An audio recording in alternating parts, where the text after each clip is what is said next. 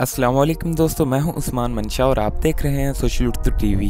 दोस्तों, इस वीडियो में हम बात करेंगे ब्रोक लेजनर के रेसलमेनिया के बाद के स्टेटस के बारे में, कि क्या वो रेसलमेनिया के बाद डब्ल्यू में रिटर्न कर सकते हैं। और इसके अलावा मुस्तफ़ा अली ने अपने रेसलमेनिया 37 के स्टेटस को लेकर एक बहुत ही इमोशनल ट्वीट किया है। और इस पर फैंस का रिएक्शन तो इससे भी ज़्यादा इमोशनल था। तो इस पर भी बात करेंगे, और क्या रोमन रेंज अपने हील कैरेक्टर से खुश हैं? क्यूँकी उन्होंने अपने हील कैरेक्टर को लेकर एक बहुत ही इंटरेस्टिंग कॉमेंट किया है। और इसके अलावा उन्होंने ये भी बताया है की वो आगे कितने साल रेसलिंग करना चाहते हैं। इसके अलावा क्या रेसलमेनिया के बाद होने वाले पेपर व्यूज़ में क्राउड आएगा। इस पर भी बात करेंगे क्योंकि डब्ल्यू ने रेसलमेनिया के बाद होने वाले दो बड़े पेपर व्यूज़ यानी बैकलैश और मनी इन द बैंक की डेट अनाउंस कर दी है। और ऑफिशियल अनाउंसमेंट हो चुकी है कि क्या वहाँ क्राउड मौजूद होगा। तो ये सारी अपडेट्स जानने के लिए वीडियो को आखिर तक ज़रूर देखिएगा। और अगर आपने अभी तक वीडियो को लाइक नहीं किया तो वीडियो को लाइक करके चैनल को भी सब्सक्राइब कर लें। तो बिना देर किए शुरू करते हैं।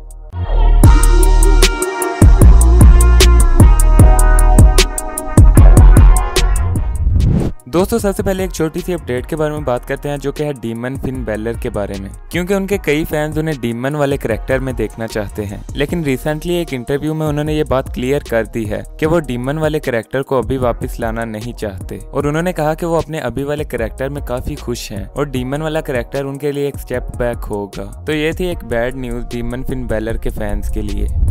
तो अगली अपडेट की तरफ़ बढ़ते हैं। तो डब्ल्यू ने रेसलमेनिया के बाद होने वाले दो पेपर व्यूज़ यानी बैकलैश और मनी इन द बैंक की डेट अनाउंस कर दी है। और बैकलैश पेपर व्यू होगा 20 जून को, जबकि Money in the Bank pay per view होगा 16 मई को। इसके अलावा डब्ल्यू ने ये क्लियर लिखा है कि दोनों शोज़ थंडर डोम में होंगे। यानी अभी तक डब्ल्यू के पास रेसलमेनिया के बाद क्राउड को वापस लाने के कोई प्लान नहीं है। और मे भी मनी इन द बैंक के बाद के पेपर व्यूज़ में क्राउड आए।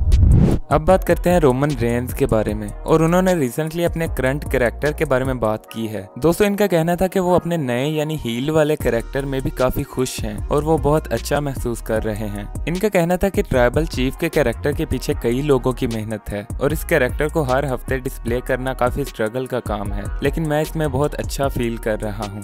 इसके अलावा उन्होंने रेसलिंग में अपने फ्यूचर को लेकर भी बात की। इनका कहना था कि मैं हर हफ़्ते पिछले हफ़्ते से अच्छा और स्ट्रोंगर परफॉर्म करना चाहता हूँ और मैं चाहता हूँ कि मैं अगले पंद्रह साल तक अपनी एबिलिटीज को मैक्सिमम लेवल पर लेके जाऊँ और मैं जितना अच्छा परफॉर्म कर सकता हूँ, उतना करूँ। दोस्तों, इससे ये बात तो क्लियर है कि रोमन रेंज रेसलिंग को लेकर काफ़ी पैशनेट हैं और फ्यूचर में भी हमें एंटरटेन करने के लिए अपनी बेस्ट परफॉर्मेंस देना चाहते हैं। दोस्तों, अब बात करते हैं मुस्तफ़ा अली के बारे में। अब मुस्तफ़ा अली ने रिसेंटली अपने रेसलमेनिया स्टेटस को लेकर एक बहुत ही इमोशनल ट्वीट किया, जहाँ पर उन्होंने लिखा hundred of excuses hundred of hurdles and lies but at the end of the day it's on me no one and nothing else to blame but me another year another WrestleMania that I am not going to compete in nothing has been ever given to me this is no different next year your mind दोस्तों इससे उन्होंने एक बात clear कर दी कि इस साल की रेसलमेनिया में उनका कोई सपोर्ट नहीं होने वाला। और इसके लिए वो सिर्फ़ खुद को ब्लेम कर रहे हैं। और इसके अलावा उन्होंने कहा कि इसमें कुछ भी डिफरेंट नहीं है, क्योंकि हर बार उनके साथ यही किया गया है। लेकिन आखिर में वो फैंस को एश्योर करते हुए कहते हैं कि अगले साल की रेसलमेनिया के कार्ड में उनका सपोर्ट ज़रूर होगा। दोस्तों, इस ट्वीट के बाद सोशल मीडिया पर मुस्तफ़ा अली को फैंस की तरफ़ से फुल सपोर्टिव रिएक्शन देखने को मिला। और फैंस ने मुस्तफ़ा अली के इस ट्वीट को मेंशन करते हुए लिखा कि वो मुस्तफ़ा अली के साथ हैं और मुस्तफ़ा अली डब्ल्यू में अपने गोल ज़रूर अचीव करेंगे। इसके अलावा कई फैंस ने लिखा कि मुस्तफ़ा अली को इसके लिए खुद को ब्लेम करने की ज़रूरत नहीं, क्योंकि इस सब की जिम्मेदार डब्ल्यू मैनेजमेंट है। दोस्तों, आप मुस्तफ़ा अली के इस ट्वीट के बारे में क्या सोचते हैं, हमें कमेंट सेक्शन में ज़रूर बताएँ।